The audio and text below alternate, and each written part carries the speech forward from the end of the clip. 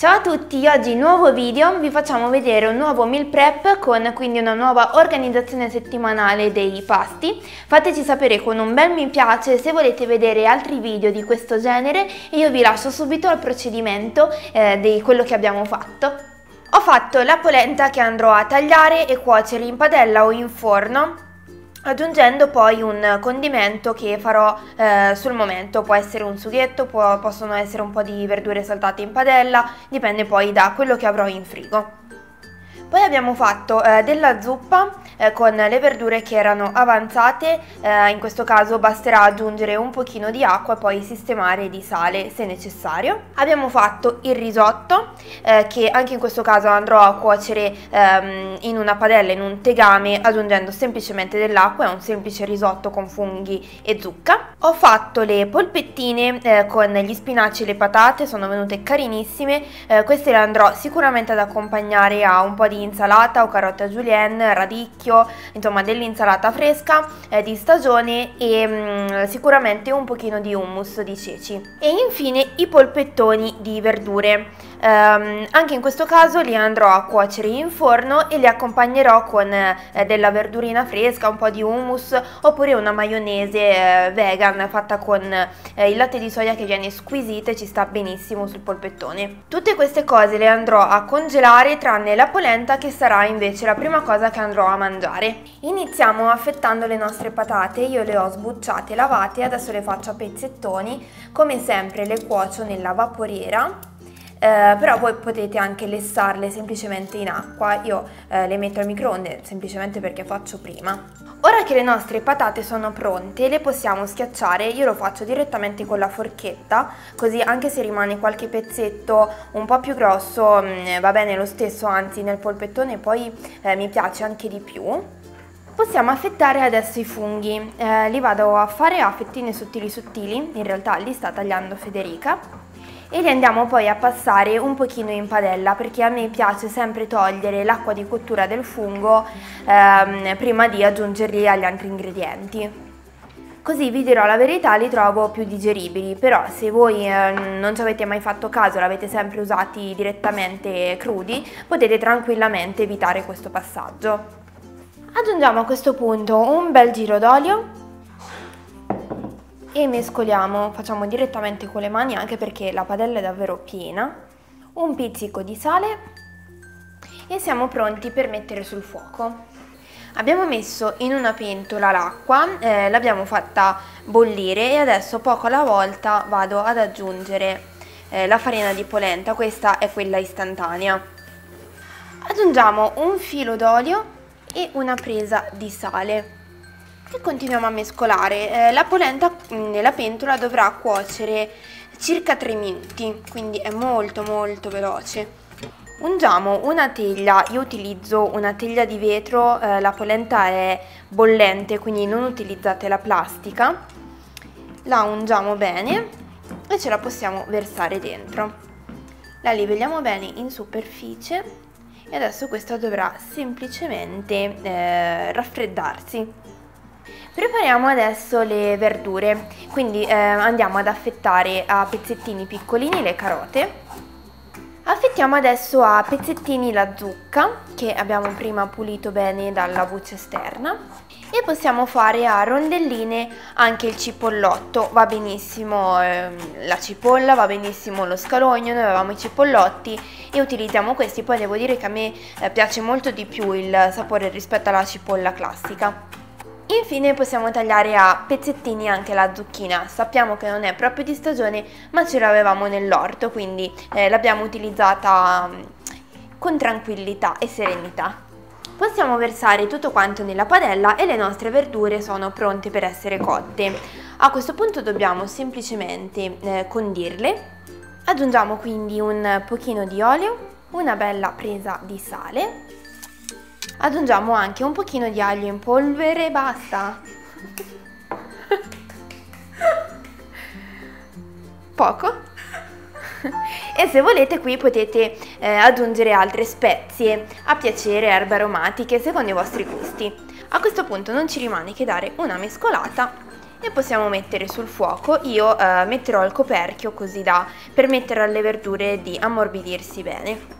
Per il risotto andiamo ad utilizzare questo riso che è quello integrale tipo il basmati e il thai bon. Abbiamo tagliato a pezzettini la zucca e adesso possiamo aggiungere un pochino di cipolla, qui come sempre con la cipolla andate a gusto. Adesso aggiungiamo il nostro riso, il pacchettino è da mezzo chilo e abbiamo eh, calcolato che serve per circa 6 porzioni, però noi lo utilizziamo tutto, eh, siamo qua e lo facciamo in abbondanza, così eh, ce lo troviamo comunque pronto. Aggiungiamo qualche cucchiaiata di funghi e adesso condiamo con un pochino di olio, un pochino di sale e un pochino di aglio in polvere, questa volta pochino, pochino pochino. Vabbè, qui sono tre porzioni, ci sta, mettine, mettine ancora. E come sempre, eh, per ogni ricetta qua poi potete sbizzarrirvi voi con gli ingredienti che vi piacciono di più, quelli che di solito mettete nel risotto ai funghi. Mescoliamo questo riso integrale ha una cottura di circa 35 minuti, che è il tempo davvero perfetto per cuocere bene bene la zucca ehm, e farla amalgamare perfettamente al riso, poi vi diventerà quasi una crema ma non sarà del tutto spappolata, è proprio il tempo perfetto. E poi quando eh, ne avrete bisogno basterà aggiungere l'acqua.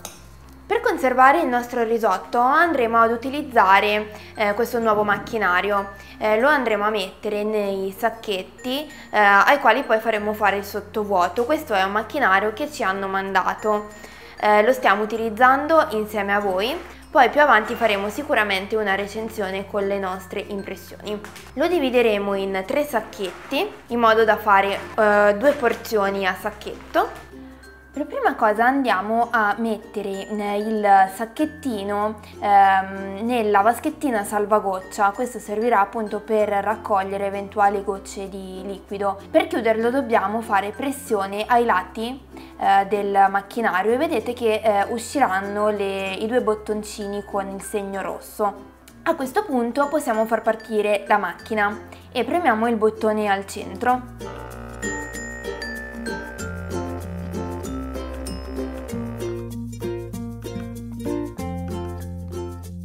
Insieme ad una parte degli spinaci tritati andiamo ad aggiungere le uova. Queste saranno per circa due cene. Aggiungiamo anche le lenticchie già cotte mescolate anche e eh, un pochino del nostro purè, delle nostre patate. In realtà come vedete non è venuto un purè liscio e cremoso e è eh, la consistenza giusta, questa qui un po' più asciutto ehm, e un po' più granuloso. Adesso iniziamo ad impastare. Come sempre ne frulliamo una metà Aggiungiamo a questo punto la quinoa che avevamo cotto eh, precedentemente e infine un pochino di pane grattugiato. Aggiustiamo di sale e come al solito potete andare giù con le vostre erbe aromatiche preferite. Mescoliamo bene e l'impasto delle nostre polpette è pronto. Porzioniamo le nostre polpette come avevamo fatto l'altra volta nello scorso meal prep che trovate nella descrizione. Chiudo a metà e come se fossero ravioli vado a togliere un pochino l'aria. Adesso tagliamo. Chiudiamo i lati.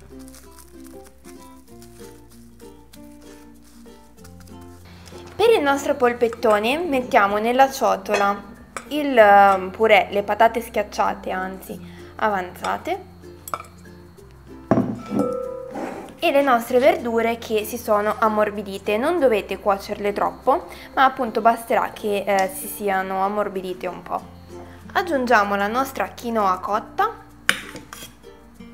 profumiamo con un pochino di pepe, che qua ci sta benissimo secondo me, un bel giro d'olio e un po' di sale. Qua abbondo un po' perché ehm, la roba è tanta e ho bisogno che venga bella saporita.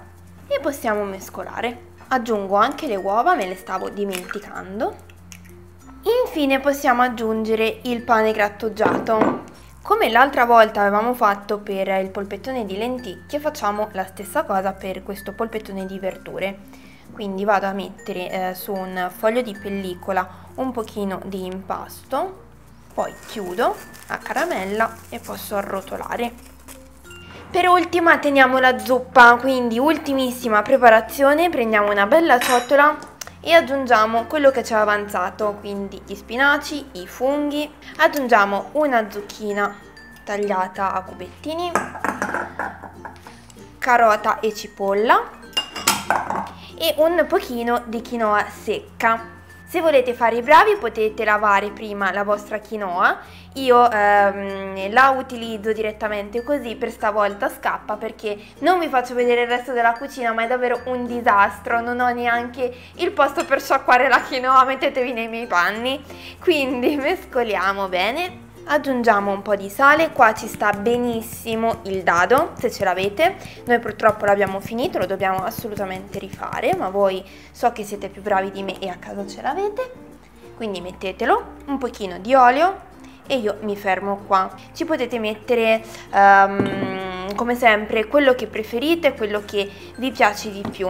Riempo i miei sacchetti, anche la zuppa eh, la andrò a um, chiudere sotto vuoto Purtroppo la seconda sigillatura non è venuta, ho provato sia nel sacchetto più grande che eh, quello più piccolo che eh, avevamo fatto insieme, però ha preso pochissimi punti e insomma non è per niente sigillato come vedete perché ehm, togliendo l'aria è venuto su il liquido e quindi ha bagnato uh, tutta quanta la plastica, però cioè, non, non ho messo dentro un bicchiere d'acqua, è il liquido delle verdure, quindi eh, pensavo che, che fosse normale, invece purtroppo no, perciò niente sigillatura e lo devo andare a mettere eh, nei classici sacchetti gelo. Come sempre in due ore o poco più eh, la nostra organizzazione eh, delle cene è pronta, abbiamo fatto davvero tantissimi pasti con un budget limitatissimo, abbiamo speso pochissimo per la spesa, poi troverete tutto quanto eh, nella descrizione, è un ottimo metodo. Se ancora non lo conoscete per essere un po' più organizzati dentro casa e spendere, sprecare meno tempo per fare la cena ogni sera. Io vi consiglio eh, di farlo magari con qualcuno qualcuno, vostra sorella, vostro marito, fidanzato, un'amica, ehm, perché innanzitutto andate più spediti, è più semplice, ehm, essendo insieme poi ci si diverte anche, poi magari le cose le potete dividere, quindi eh, ne giovate tutti e due, Gio, giovate si dice, ne, ne, ne, ne usufruite tutti e due. Indipendentemente dal, da questo food saver, questa macchina per il sottovuoto, eh, vi consiglio invece di fare un salto su quale scegliere e ci tengo a precisare che non ci hanno pagato. Eh, piccola cosa per chi volesse scriverlo, non ci hanno pagato, ci hanno soltanto mandato questo elettrodomestico come ho detto 12 volte nel video. Eh, è un sito molto molto carino secondo me perché eh, vi dà una bella panoramica su eh, quello che sono le specifiche eh, di ogni elettrodomestico, in questo modo voi potete capire qual è quello che fa meglio al caso vostro, perché tanto se noi ci basiamo soltanto su quello che ci dice un'azienda, ogni prodotto è stellare, ogni prodotto è fantastico, però poi magari non funziona bene. Invece su questo sito riuscite ad avere un'idea migliore eh, di quello che è. È un sito fatto davvero molto bene, a me è piaciuto molto anche perché io in primis sono una di quelle persone che prima di comprare un elettrodomestico anche piccolissimo, anche eh, banale, eh, ci pensa mille volte, fa mille ricerche su internet, chiede eh, consigli, guarda tutte quante le recensioni, quindi se anche voi siete come me è sicuramente un sito che vi piacerà molto. Eh, detto questo, io spero tanto che questo video vi sia piaciuto, se è così come sempre mettete un bel mi piace, iscrivetevi al canale, io vi mando un grossissimo bacio e ci vediamo alla prossima!